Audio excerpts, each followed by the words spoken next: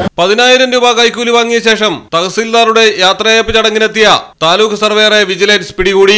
കോഴിക്കോടാണ് സംഭവം. താമരശ്ശേരി താലൂക്ക് സർവേയർ നസീറാണ് താലൂക്ക് ഓഫീസിൽ വെച്ച് കൈക്കൂലി പണവുമായി പിടിയിലായത്. റോഡും വസ്തുവും സർവേ ചെയ്യുന്നതിനായി നസീർ ഇരുപതിനായിരം രൂപയാണ് പരാതിക്കാരനോട് ആവശ്യപ്പെട്ടത്.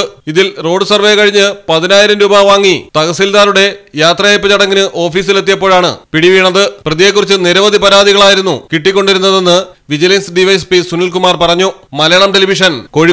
ആലപ്പുഴയിലെ മണ്ണിൽ പടരും കുട്ടനാടൻ നനവാടേലും കണ്ണൂരിനെ ഉഴുതുമറിക്കും കോരിച്ചൊരിയണ മഴയായാലും വയനാട്ടിലെ കുളിർ കോരും മഞ്ഞായാലും മഞ്ഞായാലും.